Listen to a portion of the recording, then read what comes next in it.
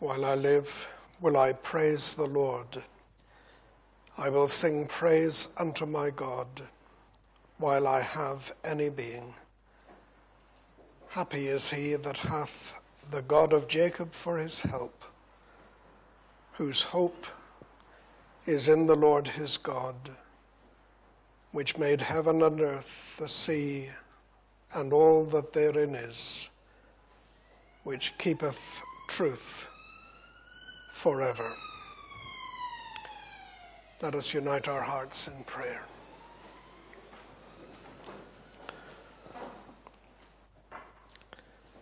Almighty, most holy, and everlasting God, it is our privilege, bestowed by grace, to call upon thy name and to come into thy presence through the way which has been made for us in thy Son, our Redeemer, Jesus Christ. We know that as sinners we would have been forever barred from access to thee and communion with thee. But thou hast sent to us the one who is beloved of thy heart, who has also become our beloved Saviour, who has dealt with our sin in bearing its penalty, exhausting its punishment, that we may be forgiven and that we may be accepted by thee and even blessed. We come to praise thee for the love which sent him into this world and sent him to die, that his people might bear the blessing and his people might have hope before God and before eternity. We are so indebted to Thee for laying help upon one that is mighty and sending one who became the last Adam, the second man, who was not overcome, but who overcame and succeeded where men have failed, who took the judgment, suffered it wholly, exhausted it in his own person, that we might know nothing but blessing in this life and the life to come. Pardon us afresh this day and cleanse our hearts from every spot and stain Forgive us, O God, and so renew us and sanctify us that we will be in a right state to enjoy Thee this day and to draw near to Thee and hold communion with God. Hear us then in these our prayers. Be with Thy people in every place we pray thee to bless the church of Jesus Christ in all the world, and this for his sake. Amen.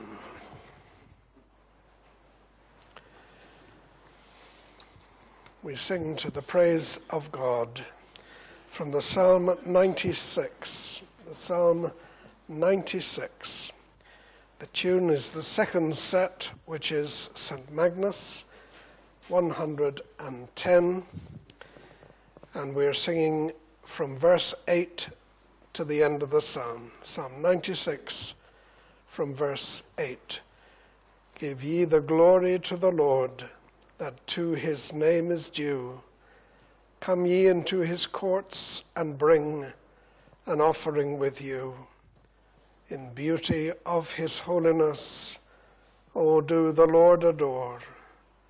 Likewise, let all the earth throughout tremble his face before. Psalm 96 from verse 8. Give ye the glory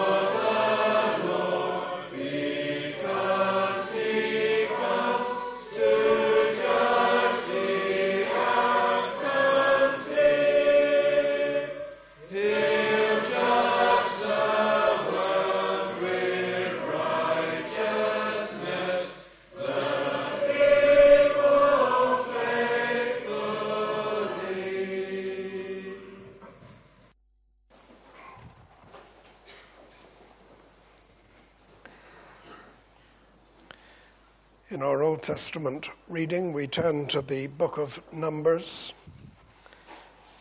through which book we are presently reading. And this morning, in our consecutive readings, we reach Numbers chapter 6. Numbers chapter 6.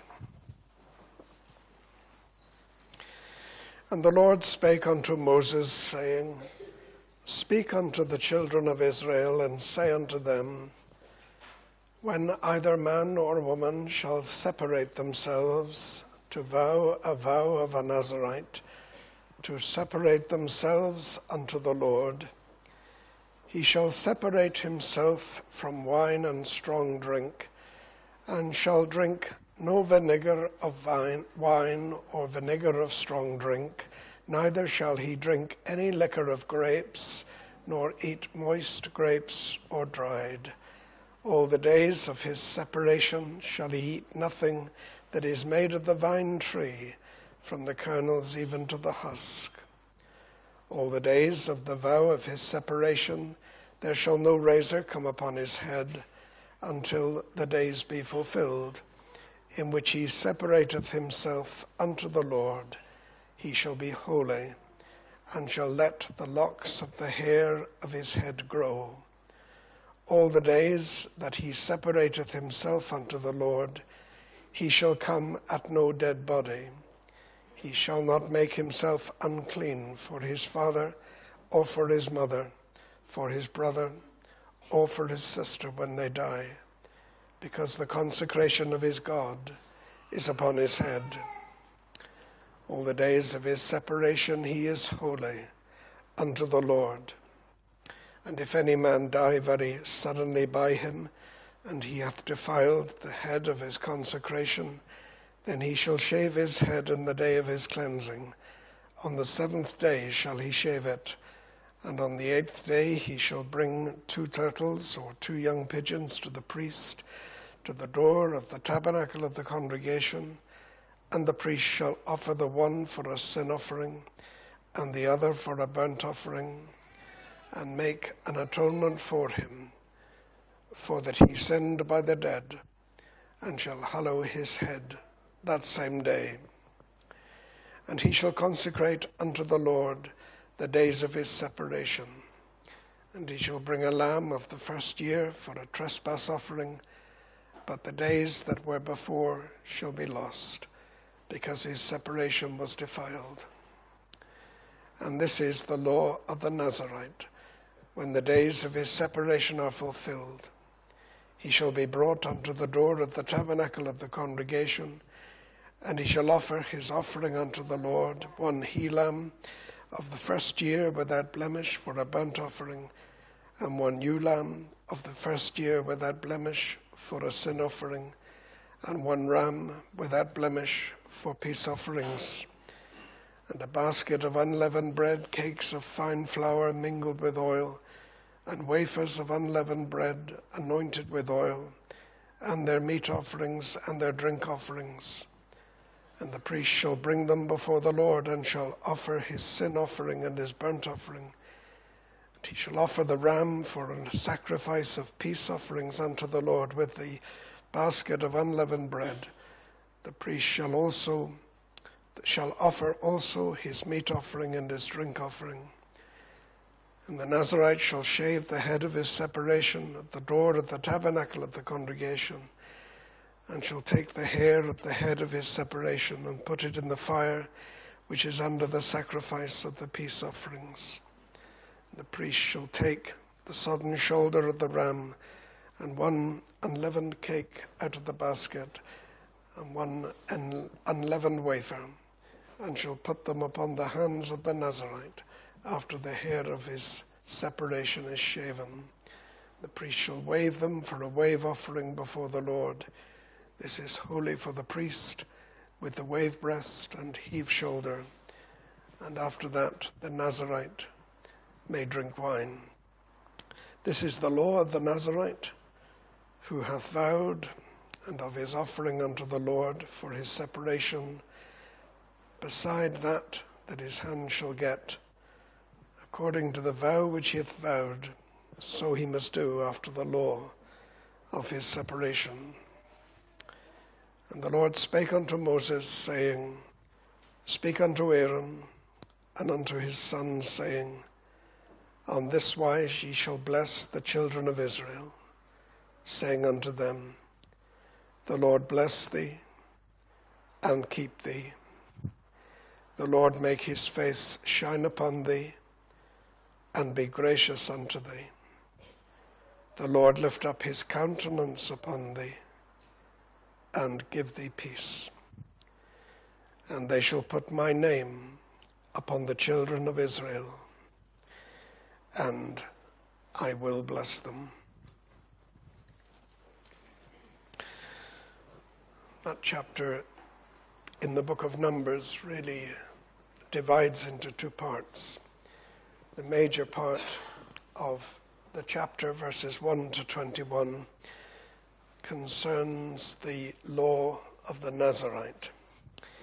And then from verse 22 to 27, uh, we have written for us the Aaronic benediction, as it is called, the benediction pronounced upon Israel of old by the high priest and by the priests. Just looking for a moment at the major part of the chapter, verses 1 to 21. The word Nazarite, which is used throughout uh, this particular passage, comes from a root word in the Hebrew which means to separate.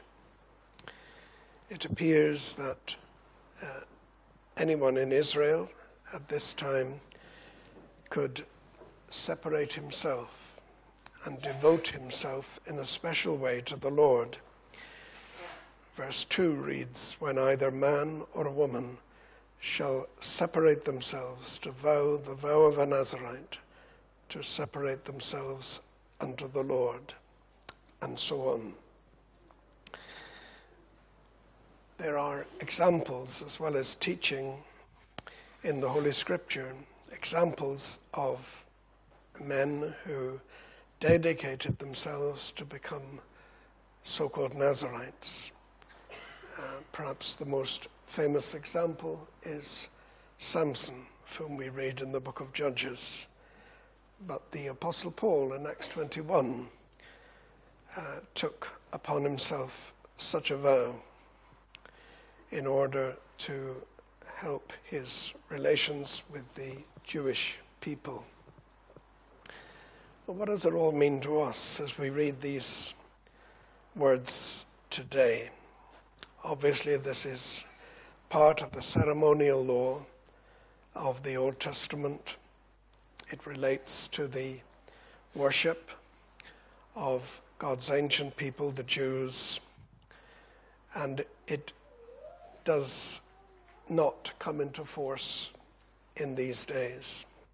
However, that is not to say that the passage is without significance and without profit as we read it, because these things convey to us spiritual truth and spiritual truths. The Nazarite of ancient Israel typified or represented the believer. What has the believer done? Well, after the Nazarite, at his conversion, by grace, he separated himself from others, separated himself from sin, from unbelief, from the world. And like the Nazarite, he dedicated himself to the Lord his God. So we read in the book of Acts on the day of Pentecost that people were told to save themselves from this generation. So they separated themselves from the ungodly of that day and they gave themselves to the Lord according to the will of God. They repented, they believed, and they became the Lord's people. So there are always those two sides to a conversion experience separation from, dedication to. And the Nazarite teaches us that. Now, there were several things belonging to the uh, Nazarite which uh, are detailed here. First of all, the Nazarite was to uh, avoid wine and strong drink. It's clear that there was nothing intrinsically wrong with these things because after the law of his separation, he's allowed to uh, partake of these things. But for the time of his dedication, his separation, he was to forego the use of any such thing, even the fruit of the vine even ordinary grape juice, anything, in fact, from the vine. So, this must have been symbolic of something. It must signify something. And commentators feel that it uh, suggests to us the avoidance of worldly pleasure with which wine and strong drink are often associated. And therefore, it teaches us that the believer, when he becomes a believer, he must give up former pleasures in the world and no longer have any of these things. Second requirement of the Nazarite in verse 5 was that he, no razor would come upon his head, but he was to grow his hair during the time of his consecration. Now, if the avoidance of wine and strong drink is a negative, saying that the believer must avoid the worldly pleasures, the pleasures of lusts of this world. The growing of the hair long indicates in the scriptures strength, as in the case of Samson, and it was a positive statement that the Nazarite was to give all his power, all his might, all that he has to the Lord. He was to be strong for the Lord. And so he was to avoid the world, but he was to give himself in all his power and in all his strength to the Lord his God. There was one further requirement, and it's given for us in verse 6. During the days when he was a Nazarite, he shall come at no dead body. This is ceremonial, of course, and it suggests something moral to us. A corpse, or death itself, is regarded in Scripture as corruption. And so the Nazarite is typically to avoid moral corruption in whatever form that is found. He mustn't uh, come under the sound of corrupt teaching, which is not according to the Word of God. He mustn't familiarize himself with corrupt practice and do what so many of the ungodly do. Now, there is a provision made in case of the law of the Nazarite being inadvertently broken. Verse 9 declares it if any man die very suddenly by him, and the Nazarite is in touch with this uh, person recently uh, dead, then there was provision to be made. And on the eighth day we read, He shall bring his offering uh, to the priest, and the offering was to be offered. So for the believer who separates from the world, dedicates himself to God, avoids corruption to the best of his ability. It may be, it may be that he will fail. And with the best will in the world, he will contract uh, corruption in some way. If he does do that, if the believer sins and becomes defiled by corruption, then the law of the Nazarite says God will accept the offering, He will accept the atonement. And this offering and atonement, the turtle doves and the lambs, point to Christ, who is the offering in these Christian times. And Christ, by his death, has secured grace for us and mercy and pardon. If we fail as Christian believers, there is forgiveness, there is an offering. And we go to the living Christ, the priest, and seek the provision of that sacrifice. So there is a great deal for us to learn from the ancient law, providing we look at it spiritually, try to understand the inner meaning of it. That brings us to the second and last part of the chapter from verse 22 to the, to the end. in the chapter itself, Moses appears as a mediator at the beginning of the chapter, and he brings the word of God to the people. Towards the end of the chapter, there's reference to the great high priest, Aaron, who is also as a mediator. These two point to Christ, of course, who is our mediator between God and man. And the benediction is given, this beautiful priestly benediction of Numbers chapter 6. What does it include? Well, you notice that there's a, a threefold emphasis. The Lord bless thee and keep thee. The Lord make his face shine upon thee and be gracious to thee. The Lord lift up his countenance upon thee and give thee peace. Without doubt, that hints at the Trinity within unity, the unity within Trinity, the blessing of the triune God upon his people, the blessing of the Father the source of all blessing, who is able to keep us. The Lord Jesus prayed to his Father in John 17 and said, Father, keep through thine own name those whom thou hast given me.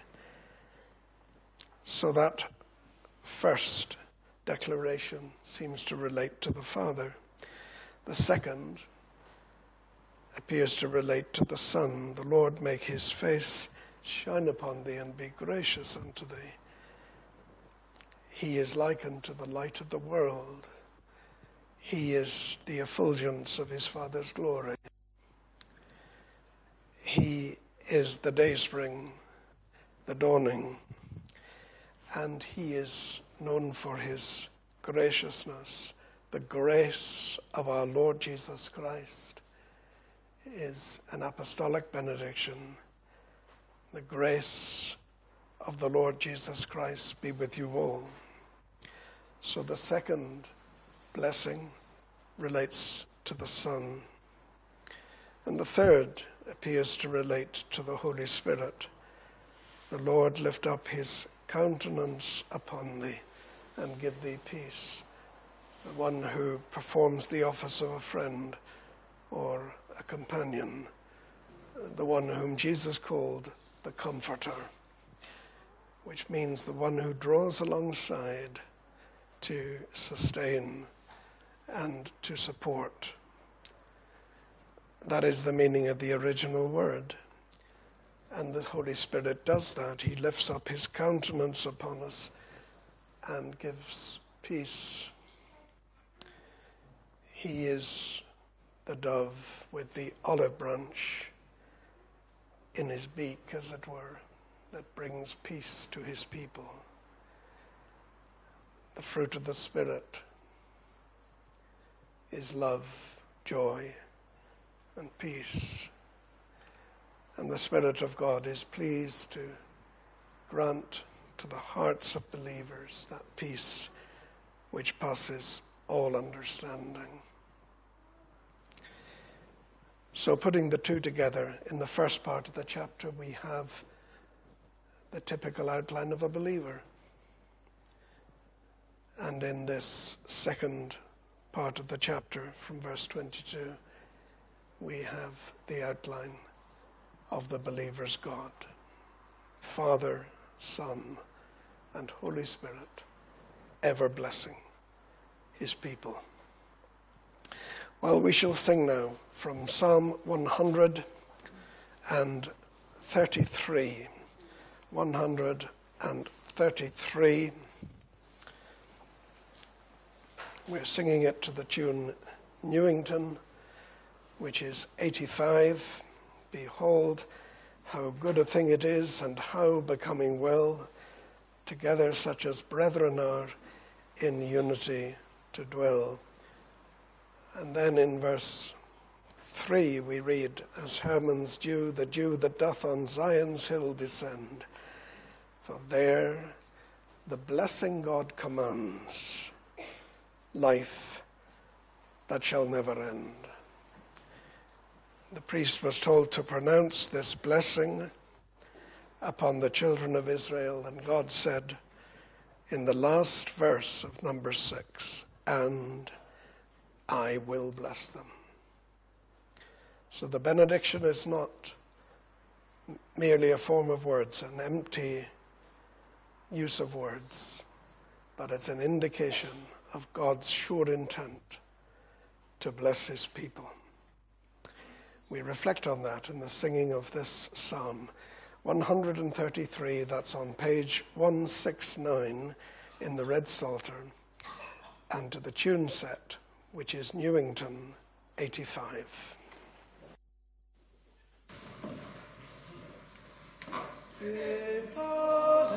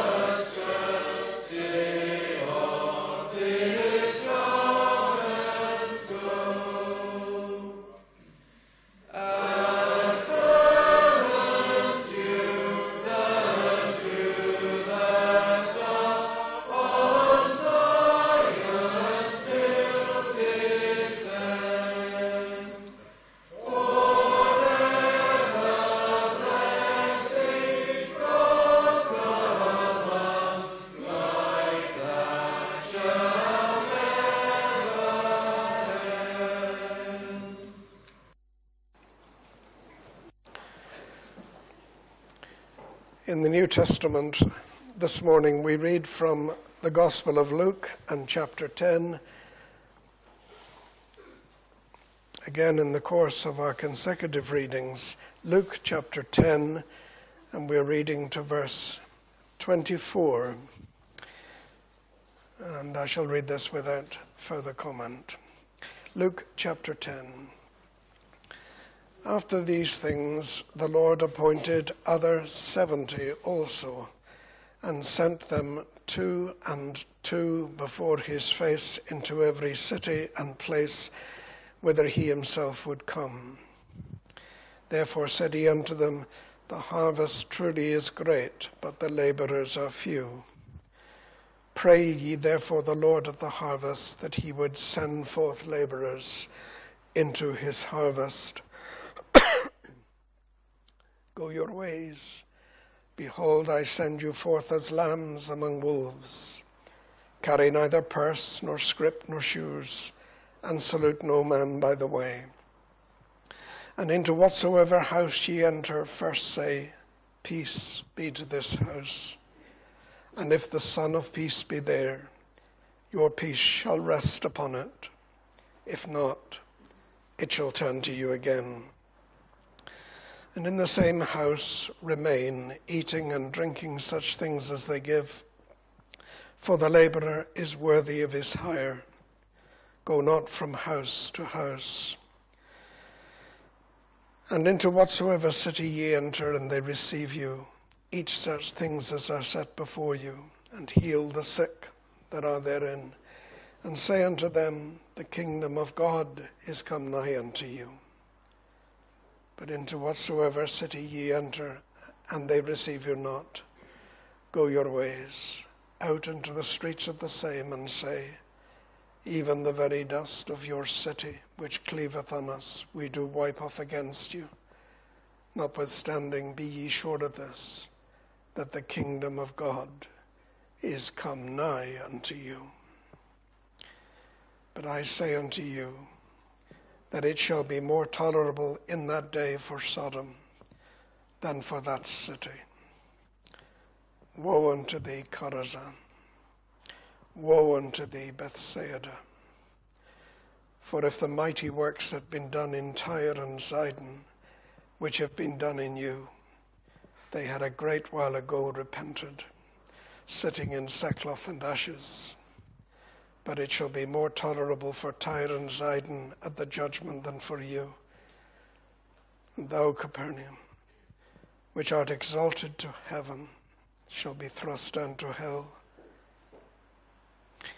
He that heareth you, heareth me, and he that despiseth you, despiseth me, and he that despiseth me, despiseth him that sent me. And the seventy returned again with joy, saying, Lord, even the devils are subject unto us through thy name. And he said unto them, I beheld Satan as lightning fall from heaven.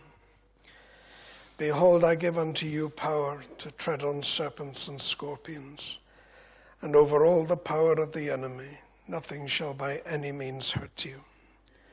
Notwithstanding, in this rejoice not that the spirits are subject unto you, but rather rejoice, because your names are written in heaven. In that hour, Jesus rejoiced in spirit and said, I thank thee, O Father, Lord of heaven and earth, that thou hast hid these things from the wise and prudent, and hast revealed them unto babes. Even so, Father, for so it seemed good in thy sight.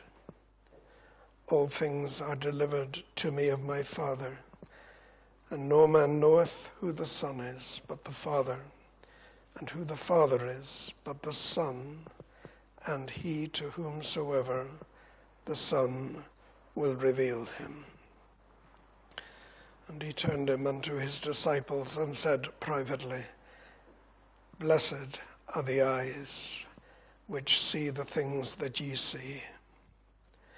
For I tell you that many prophets and kings have desired to see those things which ye see, and have not seen them, and to hear those things which ye hear, and have not heard them. Let us further pray together.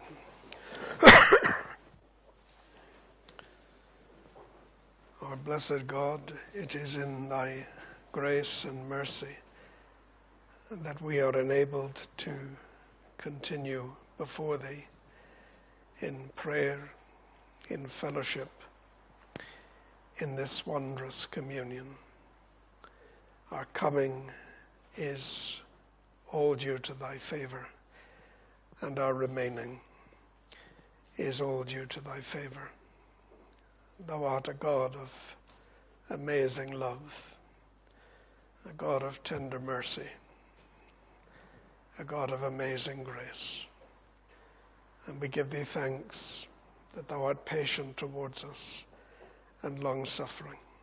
Thou dost bear with us, even though at times we are wayward and foolish and thou dost stay with us, keeping the covenant promise, even when we wander far away from thee and break our own solemn vow and promise. Thou dost abide faithful, and we thank thee for that. We pray thee again to look mercifully upon us for all these our shortcomings if we were to number them, we know from Scripture that our faults would be more than the hairs upon our head, for we cannot live without sinning against Thee. And though our hearts resolve not to sin, we are so often so tragically overcome. The good that we would, we do not. And the evil that we would not, that we do. And we confess ourselves to be weak, therefore, and to be unreliable. We, having done all, are unworthy and undeserving. And, O God, we stand in daily, hourly need of thy free mercy and thy free grace. Do pardon us afresh and give us to know in our hearts that pardon which brings unutterable peace, that pardon which brings our hearts to a calm and tranquil state, pardon which makes fellowship with God a glorious reality. So give us these mercies afresh, and as we pray to Thee now, hear our prayers. We commit to Thee the church of our Lord Jesus Christ in this land, and we do earnestly pray for it. We determine not to keep silence concerning it, but to be the Lord's remembrancers, respectfully reminding thee of the need of Christ's church in these days.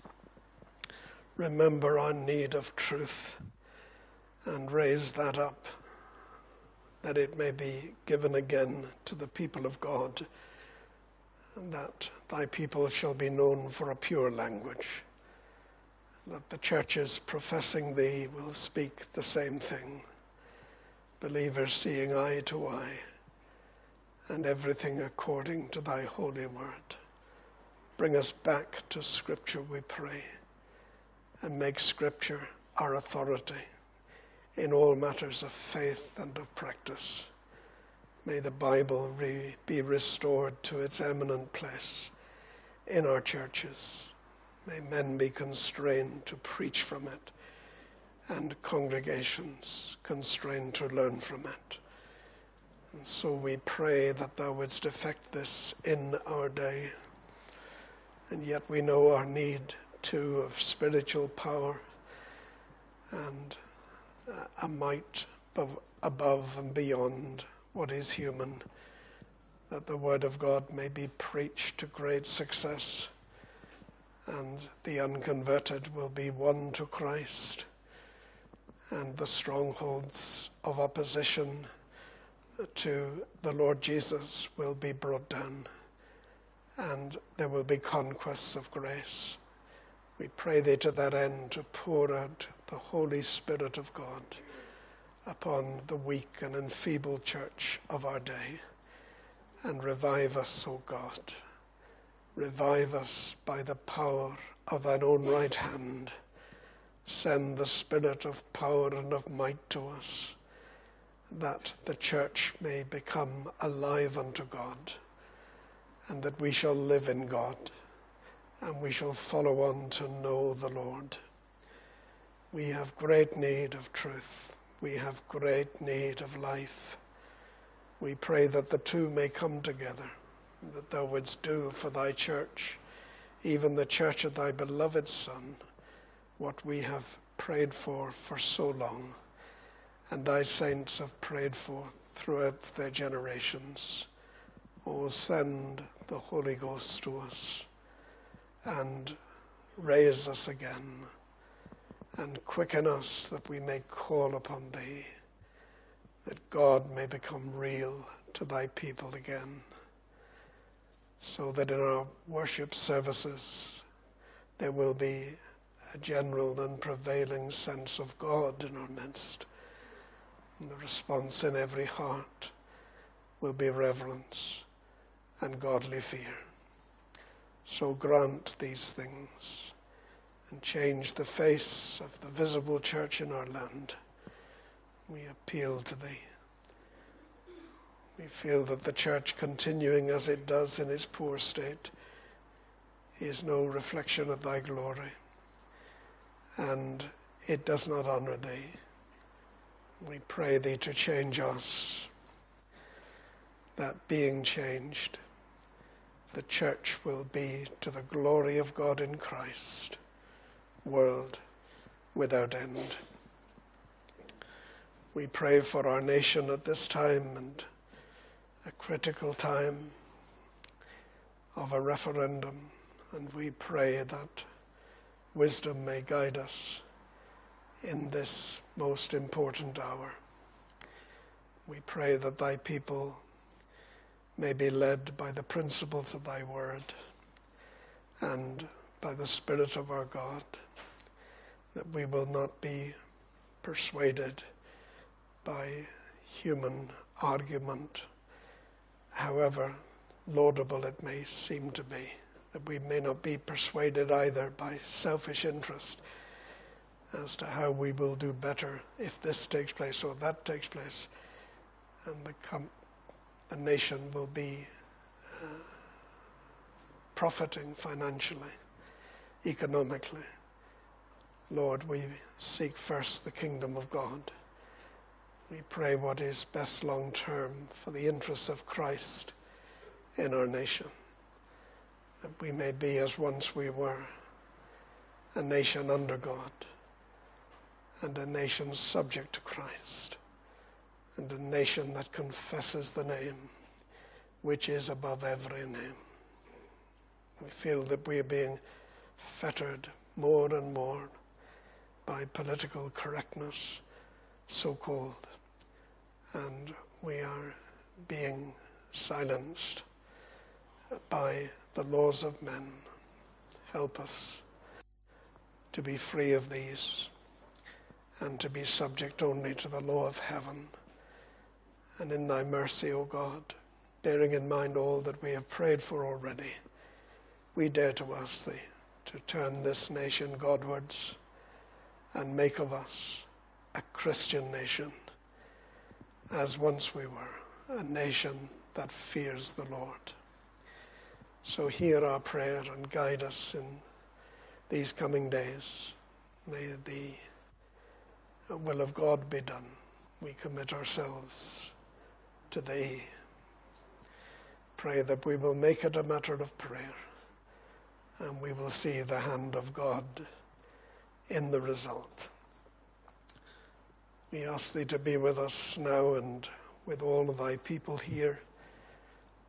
We pray for those who may be on holiday with us. We pray Thee to bless them, send them back with blessing to their homes and their churches.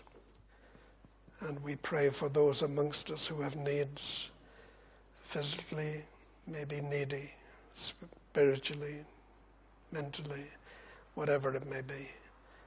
O God, look in love upon thy dear children who suffer and render relief, we pray, and be their stay in a time of uncertainty, even in a time of evil. Support them, lift them, and cause them to know the love of God which is eternal. So we commit ourselves to Thee. Be with us now and open Thy word to us and bless us, each and every one of us, and all for Christ's sake. Amen. We sing now from Psalm 68. The Psalm 68. The tune is Sandan, which is 94. The Psalm 68, 7 to 11. O God, what time thou didst go forth before thy people's face, and when through the great wilderness thy glorious marching was, then at God's presence shook the earth, then drops from heaven fell the Sinai shook before the Lord, the God of Israel. Psalm 68 on page 79 in the Red Psalter, and we're singing verses 7 to 11. Oh God,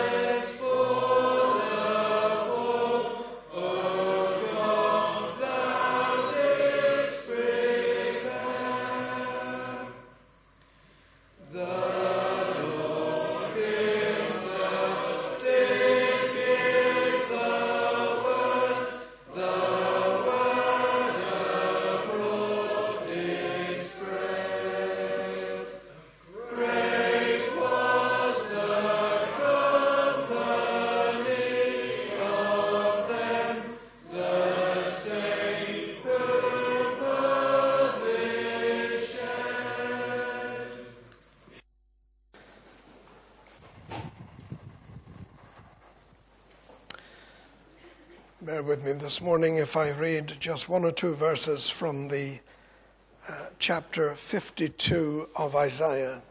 Isaiah chapter 52. Awake, awake, put on thy strength, O Zion. Put on thy beautiful garments, O Jerusalem, the holy city. For henceforth there shall no more come into thee the uncircumcised and the unclean. Shake thyself from the dust. Arise and sit down, O Jerusalem. Loose thyself from the bands of thy neck, O captive daughter of Zion. For thus saith the Lord, ye have sold yourselves for naught, and ye shall be redeemed without money. For thus saith the Lord God, My people went down aforetime into Egypt to sojourn there, and the Assyrian oppressed them without cause. Now therefore, what have I here, saith the Lord, that my people is taken away for naught? They that rule over them make them to howl, saith the Lord, and my name continually every day is blasphemed. Therefore my people shall know my name Therefore they shall know in that day that I am he that doth speak. Behold, it is I. How beautiful upon the mountains are the feet of him that bringeth good tidings, that publisheth peace, that bringeth good tidings of good, that publisheth salvation, that saith unto Zion, Thy God reigneth. And thus far shall we read in God's Word. Isaiah prophesied in the 8th century BC. His ministry lasted for a number of years, from about 730 to 710 BC. He predicted that God's people would be invaded and that many in the nation would be taken into captivity in Babylon, which event took place in 586. And the prophet was aware that though many years would elapse before that event took place, he was aware that the people who were to live at that time of invasion and captivity would need much comfort and much strength from God. And so, in the latter part of his book, from chapter 40 through to 66, he looks, as it were, to that future time. And he prophesies to those people's comfort. And he brings the comfort of God to those who were at his time not yet born, but who would experience a dreadful attack and subsequent dreadful bondage. So, here in this very chapter, he's addressing uh, the people who were to live in that awful period of Israel's history. And yet, throughout these chapters 40 to 66, he speaks words which uh, seem not to be fully fulfilled in the events of the captivity. But he speaks with a language and terminology which seems to point to a more distant event. An event when God would deliver his people from a worse bondage than Babylon, when he would deliver them from the bondage of sin and from misery. And so, in these latter chapters, we not only have comfort for a people going into captivity in 586, but we have comfort for a people whom the Lord will deliver in the person of his Son. And that makes the prophecy of Isaiah so much more precious to us because so much more relevant to us. It has a fulfillment in uh, the times of the Babylonian invasion, but it has a further fulfillment and a more glorious fulfillment in the times when the Son of God would come and deliver his people from sin and its results. And so, here in this 52nd chapter, uh, Isaiah addresses in that second uh, understanding, he addresses believers in the Christian church. They are viewed as being cast down and brought very low. But he brings them a message of consolation, a message of hope. Awake, awake, put on strength, O Zion. They appeared to his mind's eye as clothed with the garments of mourning because they were bad days and sad days. But he exhorts believers to put on beautiful garments appropriate to joy because God is about to bless them. And God will purify his church. So in the second verse, he repeats this emphasis Shake thyself from the dust, arise uh, from where you are at present in great depression, being dreadfully cast down, arise and sit down in a higher place, a more elevated place, because God will deal graciously with you. The time has come for your sad time to cease, your oppression to be taken away. Loose thyself from the bands of thy neck. And Isaiah continues in this vein. And then when we come to verse 7, he breaks out with these words How beautiful upon the mountains are the feet of him that bringeth good tidings and that publisheth peace. Now, in keeping with our understanding of the twofold fulfillment of this chapter, we observe that the Apostle Paul, no less, in Romans chapter 10 and verse 15, quotes those words of verse 7 as being fulfilled in a gospel minister.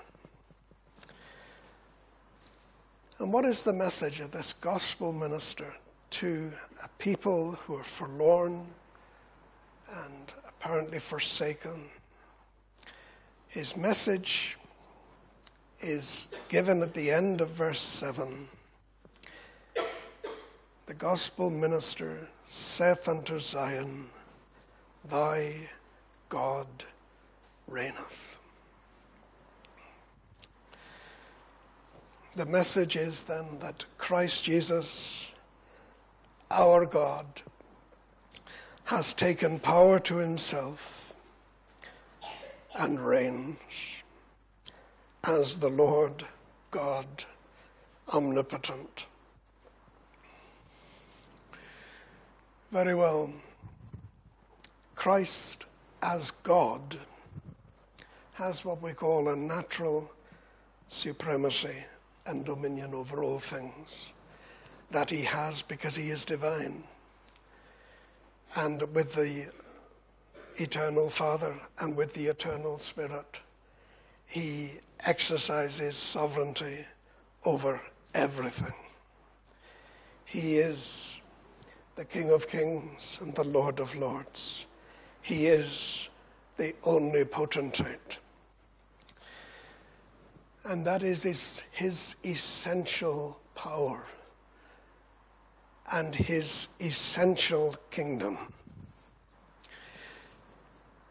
But he also has, does the Son of God, he also has what we call mediatorial power and a mediatorial kingdom.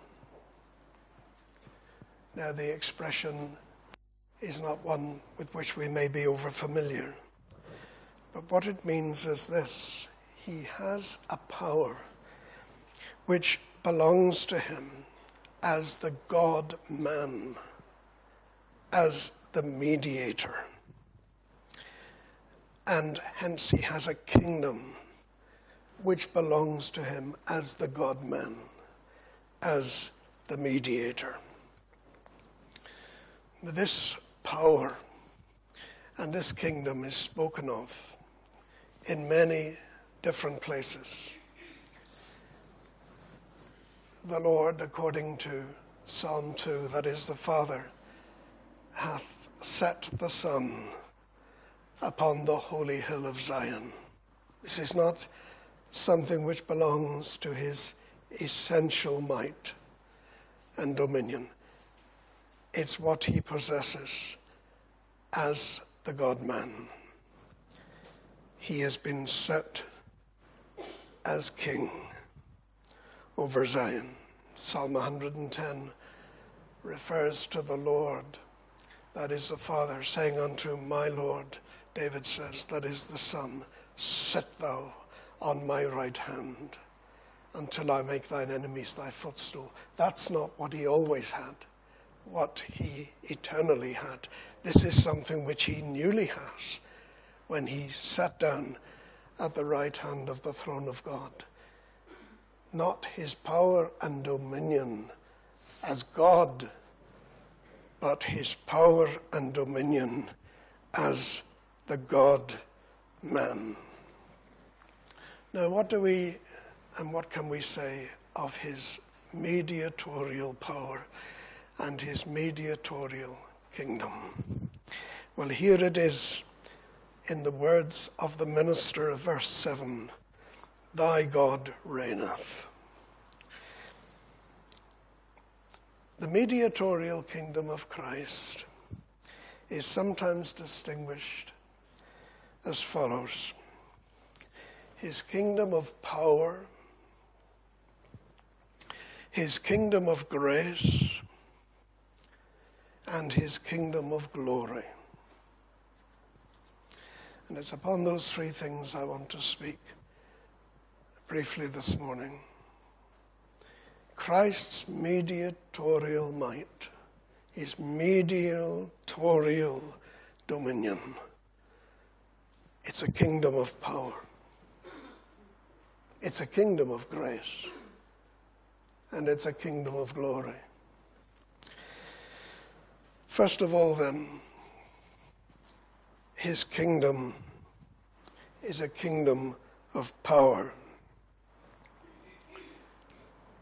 In these Christian days, the Lord Jesus Christ is constituted king.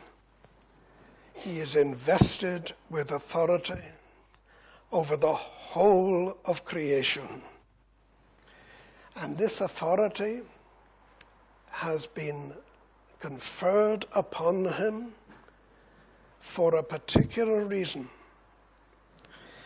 for the benefit of the church, for the benefit of his people. So, not now simply as God does he govern the worlds, but as God incarnate. God in two natures. God as Redeemer. He governs the worlds with the express purpose of blessing the church, the church which he has been given, the church which he has redeemed, the church which he has gathered by his sovereign grace. Now, which scriptures refer to this mediatorial kingdom of power? Well, our Lord referred to it before ascending when he said in Matthew 28 18, All power is given unto me in heaven and in earth. And because of that, he says, Go and teach all nations, baptizing them in the name of the Father and of the Son and of the Holy Spirit, teaching them to observe all things whatsoever I have commanded you. And lo, I am with you always, even unto the end of the world. His kingdom of power, all power in heaven and in earth, is granted unto him for the good of those who will be taught, who will be baptized, who will observe the things he's commanded, and therefore constitute his church. Another scripture which makes the same point is in uh, John chapter 17, the great prayer of Christ at the end of his earthly life as he anticipated uh, this government, this control which he would have. John 17, verse 2. These words spake Jesus and lifted up his eyes to heaven. Father, the hour is come. Listen to verse 2. As thou hast given him power over all flesh, that he should give eternal life to as many as thou hast given him.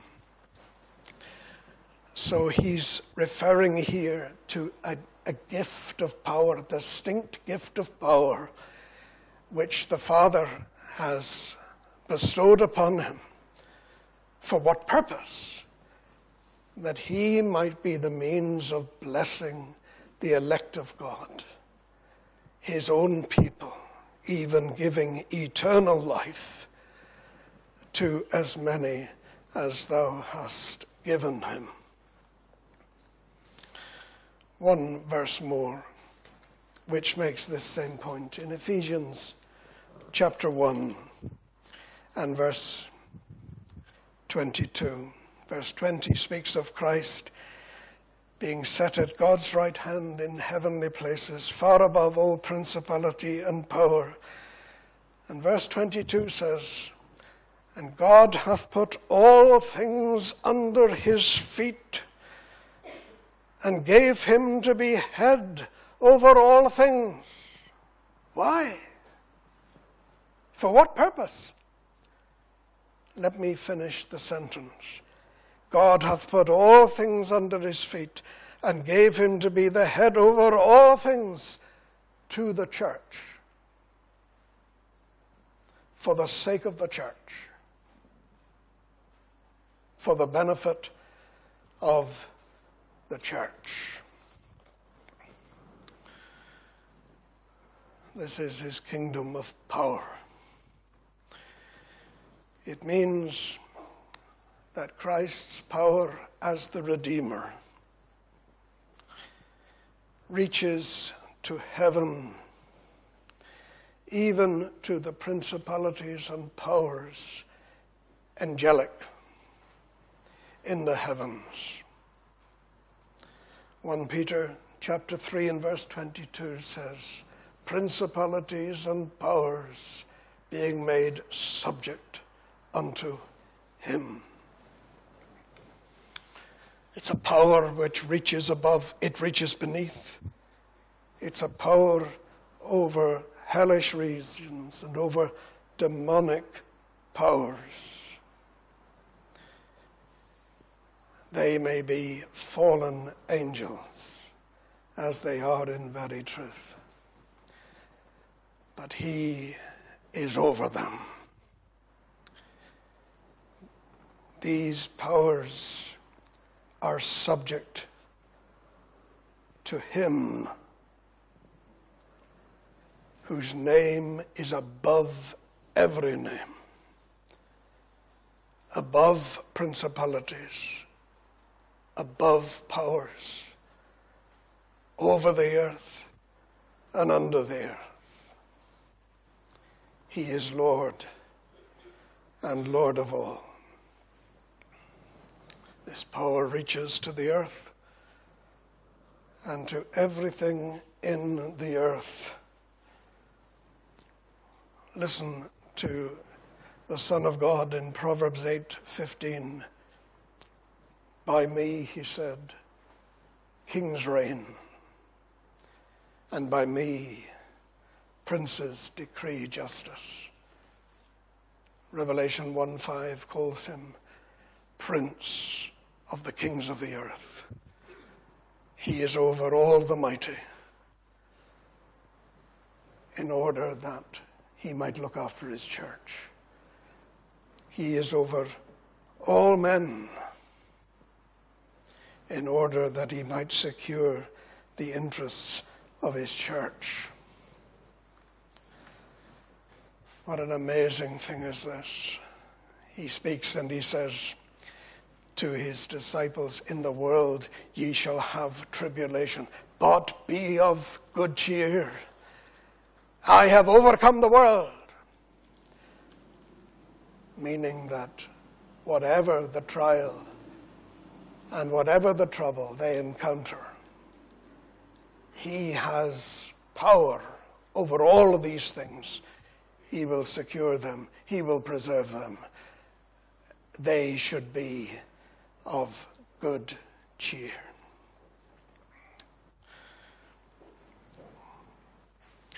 This has great comfort for us. This kingdom of power. Because although the enemy of our souls may show fury towards us. He's subject to the Lord. He cannot go further than the Lord determines. He cannot exercise more power than the Lord allows. Listen to what he says in Matthew 16. He says, I will build my church,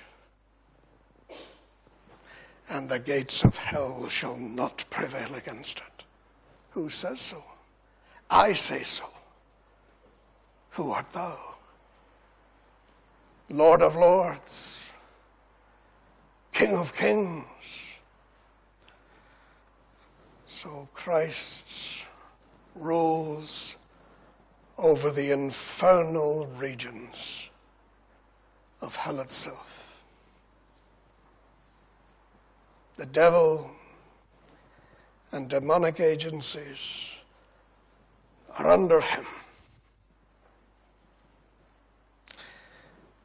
And he exercises that power to make sure that his church is protected in this world and preserved to the very end. A further comfort is this that nothing really evil can befall his people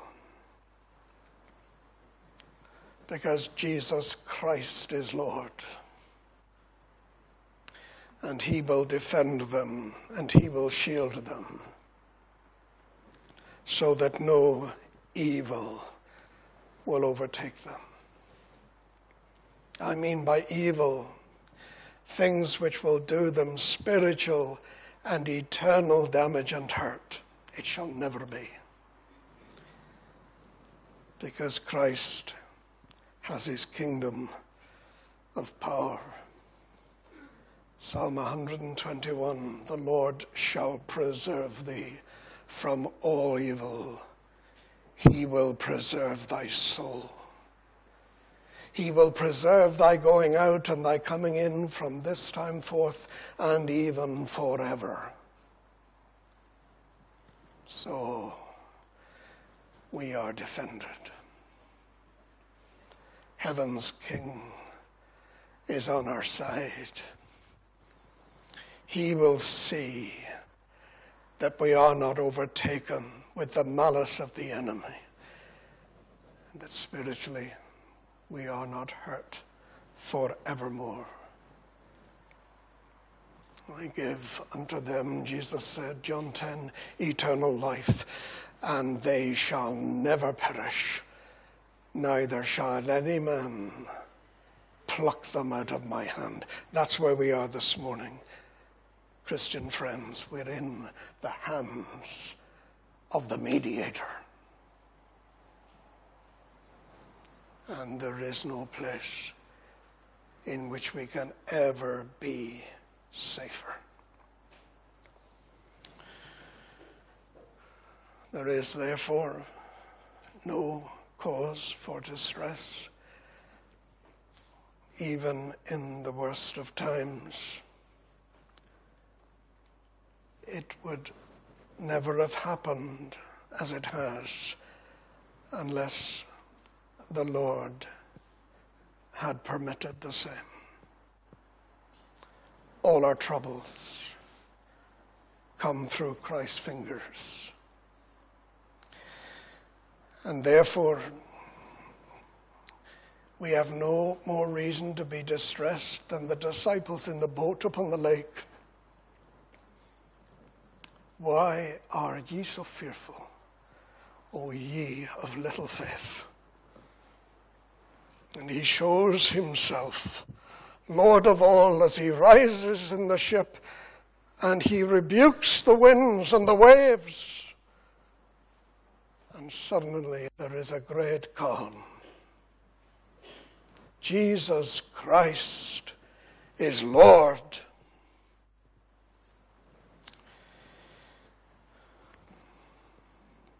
Therefore, whatever may be flung at us, and whatever seems to overtake us, we are kept by the Lord. The Epistle of Jude, verse 1 preserved in Christ Jesus. And so, believer, what you, what you fear, what you dread, is known to the Lord, and His hand is with you, His power exerted for you, and you will be maintained.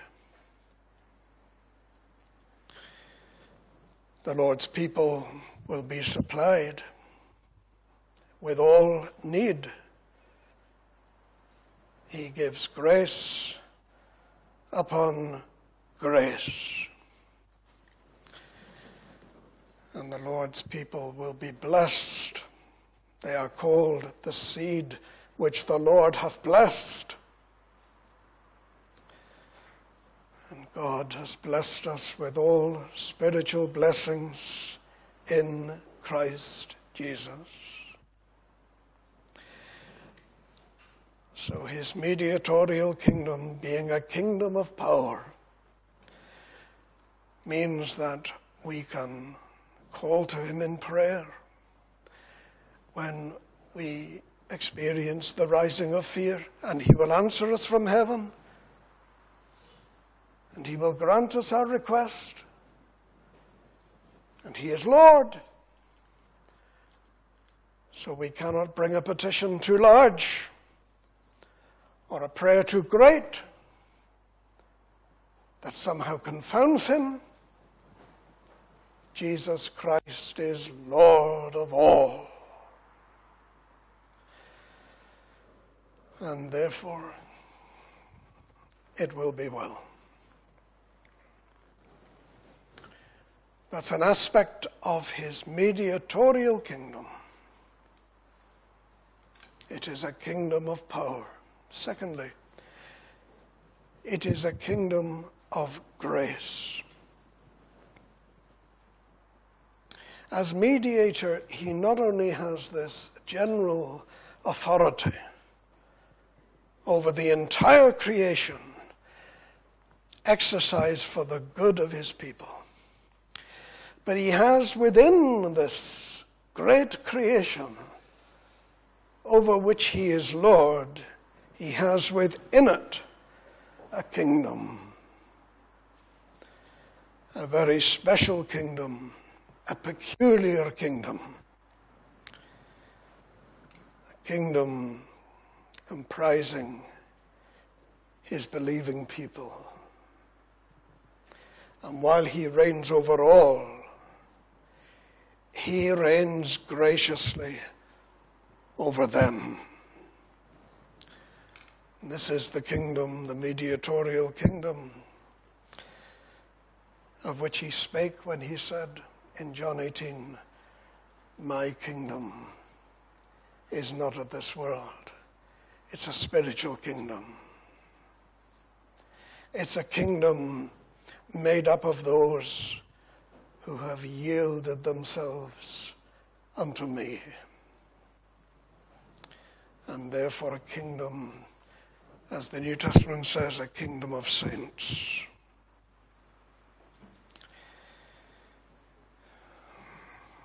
Now, my friends, with respect to the kingdom of grace, the kingdom within the kingdom, if you like, the church within the world, he has mediatorial power internally and externally. Internally, because Christ as mediator brings his people into the kingdom, working in them mightily, making them his people, keeping them his people.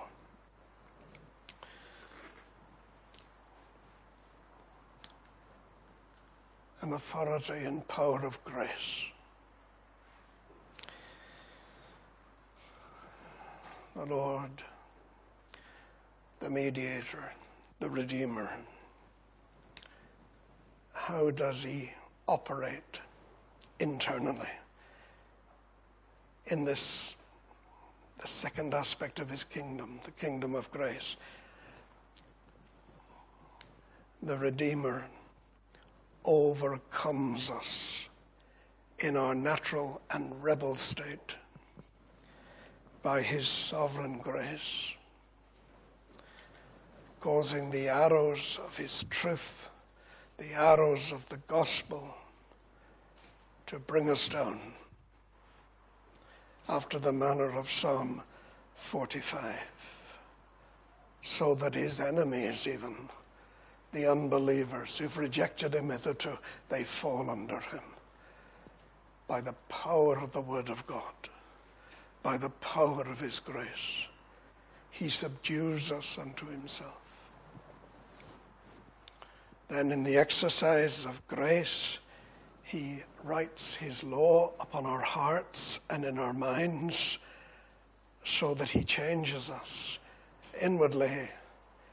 Instead of being obstinate and stubborn and refusing His will, He now makes our hearts and minds to want the will of Christ, to want to do the will of Christ. I will write my laws in their minds and in their hearts will I write them so that they become an obedient people. He works further in them in His grace and He makes them meek, no longer rising up in defiance and in revolt Learn of me, he says, for I am meek and lowly of heart. He makes his people to learn of him so as to be pliable, so as to be ready to do his bidding. And As they serve the Lord, he blesses their hearts, and he applies benefits to them gives them out of his fullness. Gift after gift, grace after grace. As they have need of living the Christian life, need of maintaining the Christian profession, so he gives more grace to them, more help, so that the weakling becomes exceedingly strong. And one soldier becomes as David. God, the Lord, our Savior, supplies daily grace that we may resist temptation, that we may live for the Lord, that we may overcome the world. And He continues to work in us, making us inwardly holy, inwardly aware of Himself, inwardly advancing in the knowledge of God. So He is working in the hearts of His people and perfecting grace. And this is the kingdom of grace. He first converts us, and then He maintains us to the end. So, whatever fears we have, let them be banished. Whatever lack of assurance we have, let it be forgotten because Christ is able to supply our need. We live by the faith of the Son of God. The Lord will provide. That's his external or his internal kingdom of grace. We turn to his external kingdom of grace. He not only rules over individual believers, so they have no cause for fear. But he rules over the church itself, the church visible, which is his outward kingdom in this world. What has he done for his church then? In the exercise of the authority of grace, in his kingdom of grace. We've seen what he's done for individual believers, but what will he do for his visible church? The one is the internal kingdom of grace, the other is the external kingdom of grace. What will he do for his church? Well, he will do what he's done. He will give to his church the Word of God, the Scriptures, ensuring that the church has an infallible rule which to follow. The Scriptures accurately translated. He has given to us we hold it in our hands and in our hearts. It is our guide to all matters pertaining to the church. He has appointed over the church a government, a government which he has carefully set forth in his word, a government of rule he gave some governments, ministers, ruling elders, working together. That is his appointed government. He orders the church's worship according to his word, saying nothing must be introduced which he has not approved in Holy Scripture so that we are at liberty only to render that which He has required of us in Scripture. He has laid down the form of church censure or church discipline. What will happen if there is sin coming into the church, threatening the unity and the prosperity of the church.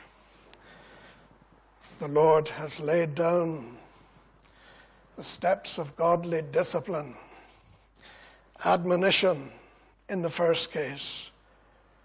When that fails, suspension, temporary withdrawal of church fellowship, and if that should fail, exclusion from the membership and from the fellowship of Christ's church. As the mediator, he is concerned for the external well being of his church. He is the king of it, and therefore he will do all he can to bless it. Though the world curses, the Lord will favor Zion. And externally, he will deal with those who plot against the church and those who undermine the church's strength and unity. Such will find him at last their enemy. If any man defile the temple of God, him will God destroy. So the mediatorial Lord is over you, my friend, who believe in Jesus, over you whose faith is in him. He will look after you. He will see you through. And his mediatorial kingdom of grace is over the church. Which church he will keep. Which church he will prosper. Which church he will protect. Which church he will lead. And which church he will save from all her enemies the kingdom of grace. And finally, his mediatorial kingdom is one of power over everything, one of grace over his people, and one of glory with respect to what is to come. It is the mediator, our Savior, who at the time of our dying receives our souls to everlasting glory. The dying martyr Stephen said, I see Jesus standing at the right hand of God, waiting for his servant, ready to welcome him.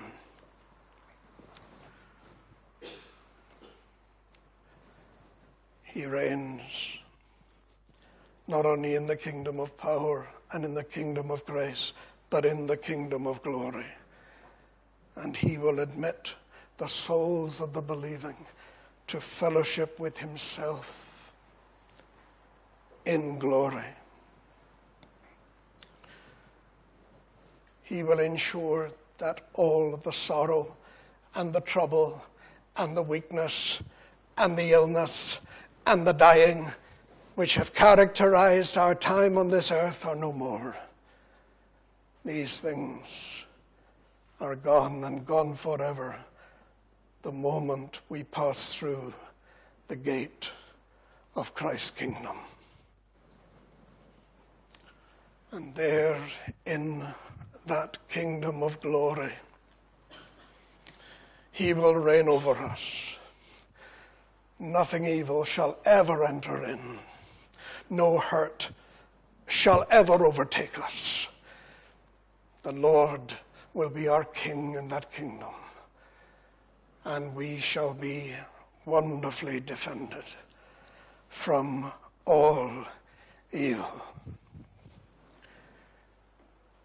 He will bring us into the Father's presence, present us to the Father at his throne. He will ensure that every need is provided for so that there is no cause for disappointment, but our hearts will be full with joy unspeakable, full of glory. And his people will enjoy him forever, forever with the Lord.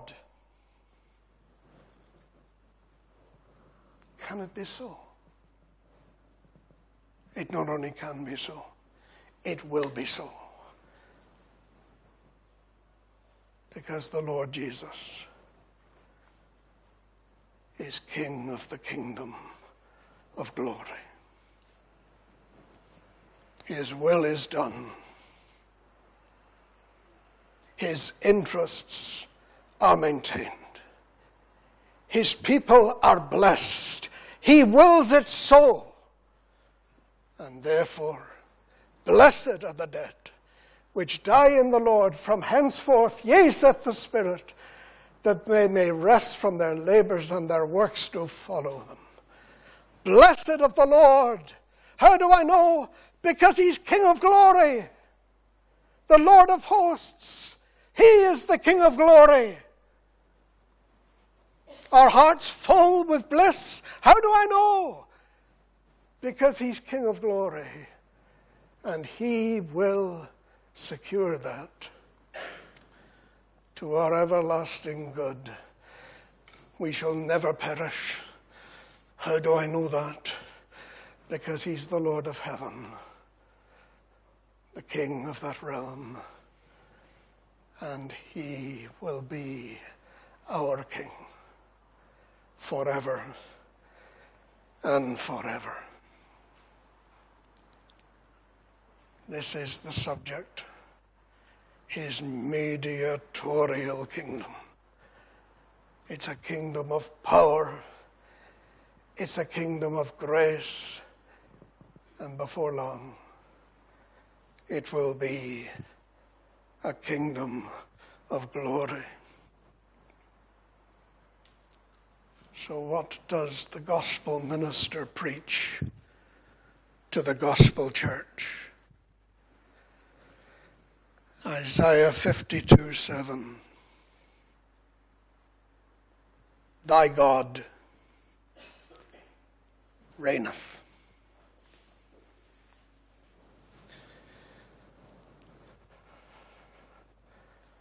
We give glory to him. Amen.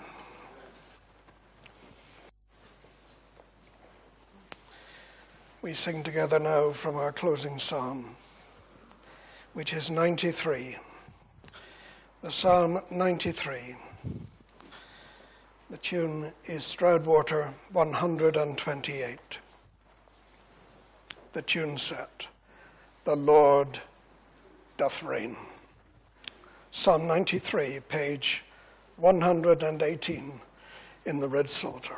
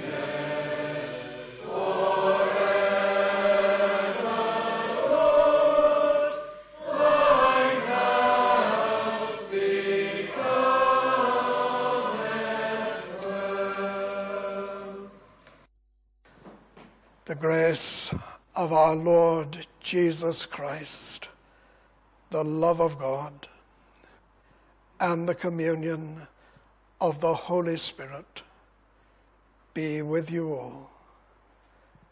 Amen.